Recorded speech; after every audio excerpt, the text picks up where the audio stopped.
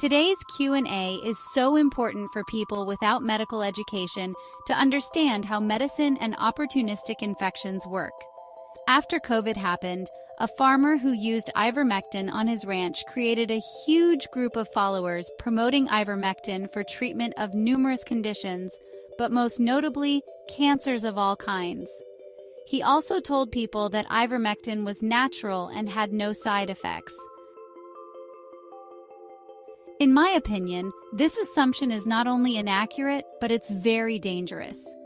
In people's desperation to cut big pharma and drugs from their lives, they dangerously jumped at hope by an online personality with no background or studies supporting to his claims. This doesn't mean that one needs a medical background to understand medical issues. But it does mean that a foundational background of how the body works related to both disease and pharmacodynamics is beneficial. You've heard me say many times that the body is a miracle. I say this because there are numerous factors that affect whether a drug is effective against a specific condition.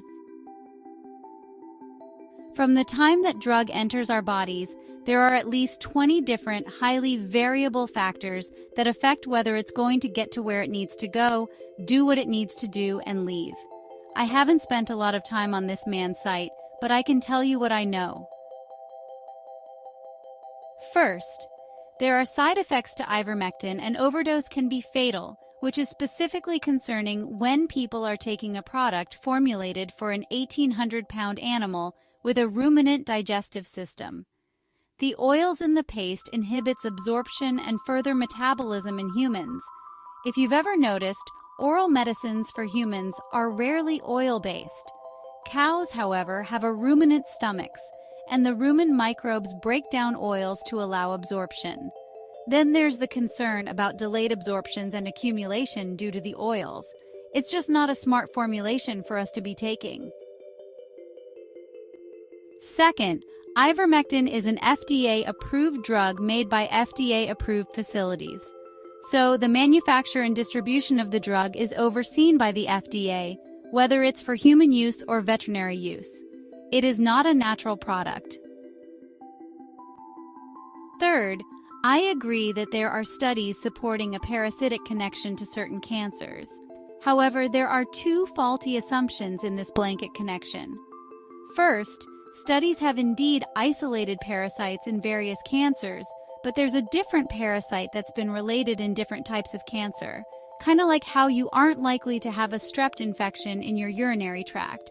The second faulty assumption is that ivermectin works on all parasites. In fact, they are like bacteria in this aspect also, just like all bacteria are not sensitive to the same antibiotic. That is why doctors sometimes do a culture and sensitivity or C and S test. So, with this predicate, let's look at a question from a very sweet member of our community that often sits in the background but blesses us sometimes with her beautiful energy. Her name is Ali42D, and I hope you will send her your love and prayers. Breast cancer about one and a half years ago. A lump was removed from the right breast, and it had not metastasized and was not in the lymph nodes. I had been taking ivermectin paste and continue to do so. I used castor oil compresses to help shrink the tumor over a three-month period. Then, I had the lump removed. I guess my point is, I haven't been back to get a checkup since the operation. No blood tests, nothing. I've been too scared of doctors and try to be my own doc. They had tried to get me to take preventative radiation and tamoxifen, I think, and I refused it all. I really wasn't going to get it removed until my mum convinced me to. I didn't want to get all caught up in the system. Can you tell if the ivermectin paste got rid of the parasites? I heard they are one and the same. Parasites equal cancer. Thank you. I personally have not seen enough evidence to definitively conclude that all cancers are caused by parasites, but they have been isolated in cancer cells, and studies have shown a higher incidence of various parasites in different cancer cells. In 2015, researchers at the CDC reported a case where cancerous cells originating from a tapeworm were found in a human patient. The patient was immune compromised and developed tumors containing malignant tapeworm cells. This was the first confirmed instance of cancer cells from a parasite leading to human disease. Also, certain parasitic infections have been linked to an increased risk of cancer. Liver flukes are associated with bile duct cancer, and schistosoma hematobium infection is linked to bladder cancer. Regarding breast cancer, parasites have also been associated with an increased risk of breast cancer. Notable examples include Toxoplasma gondii or T. gondii, Studies have suggested a link between T. gondii infection and an elevated risk of various cancers, including breast cancer.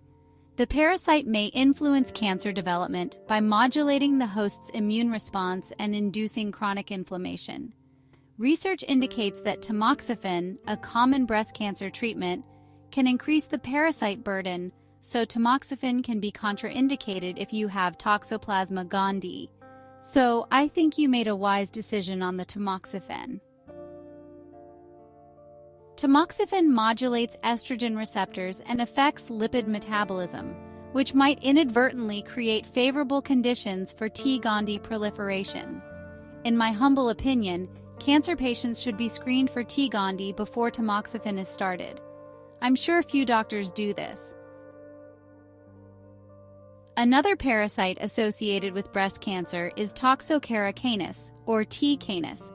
Animal studies have demonstrated that T. canis infection can enhance tumor development, potentially through modulation of the tumor immune microenvironment. Infected mice developed larger tumors, indicating a possible link between T. canis infection and increased cancer risk. Lastly, bovine leukemia virus or BLV DNA in human breast tissue samples have been isolated with a higher prevalence in individuals with breast cancer compared to those without. This association suggests a potential link between BLV exposure and breast cancer development. However, it's mainly found in cattle and consequently, there's been no treatment studied. So, the supposition that parasites can cause cancer is plausible and definitely something to be considered. The problem is that laypeople see something and start pushing the buzzword ivermectin for all cancers. Treatment. Here's the problem. Albendazole or ivermectin are effective against certain parasitic worms such as roundworms, tapeworms, and flukes but they are not typically effective against protozoan parasites like Toxoplasma gondii. So, if T. gondii is suspected, pyrimethamine, also known as Daraprim, is an effective treatment. However, if the cancer is caused by T. canis, anthelmintics like albendazole or albenza and mebendazole or Vermox could be effective. BLV has not been studied enough to know what might be effective if it's found to be causative, but there are many highly effective antivirals these days, so a course of an antiviral might be prudent. But the bottom line that many people don't get is that, as mentioned, there is no one drug that kills all bacteria, and not all cancers are associated with the same parasite. Based on the studies that I found, ivermectin does not appear to be effective for parasites that might be causative in breast cancer. I would say that a rational treatment would be mebendazole and pyrimethamine and perhaps an antiviral to cover all potential parasites that have been found. In any event, there are ways to identify parasites in the body that you might want to consider. PCR testing can detect Toxoplasma gondii DNA in blood and tissue. Also, serology tests can be done. Namely, IgM antibodies indicate a recent infection, while IgG antibodies suggest past exposure. T. canis. To detect T. canis, which are roundworms, microscopic examination of stools and antibodies in the blood can identify them. Once the causative parasite is identified, you know the proper anthelmintic, but you need a dose. There has been very little experience or studies on long term use of most anthelmintics because one or two doses kills them. I advocate caution in taking anthelmintics, regardless of what has been disseminated on the internet. I tried both ivermectin and fenbendazole on my little dog's lymphoma.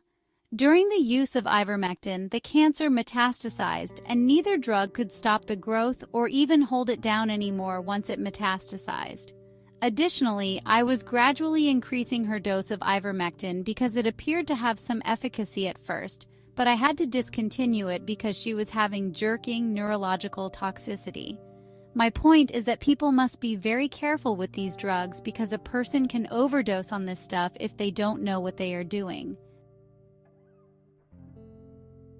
If you had a good holistic doctor, all three drugs, albendazole, pyrimethamine, and mebendazole, that would be potentially effective in breast cancer are available for both animal and human use, so he or she could prescribe you around. As you know, it will be difficult to find this kind of cooperation with an oncologist or even a family doctor. You would need someone with a holistic specialty. Regarding animal preparations, all three are available for domestic animals closer to the strengths of the human formulations, so the potential for toxicity is much less than medicine for a cow. Side effects are always a concern, so one must do their research, but I have a feeling that you are one of those people. Additionally, you want to listen to solfeggio frequencies Cut back on meat to alkalinize the body. Watch funny movies every night and laugh a lot. I applaud you for being so brave, my friend. Until next time, remember this thought. The body has the ability to heal itself, but it needs the right environment to do so.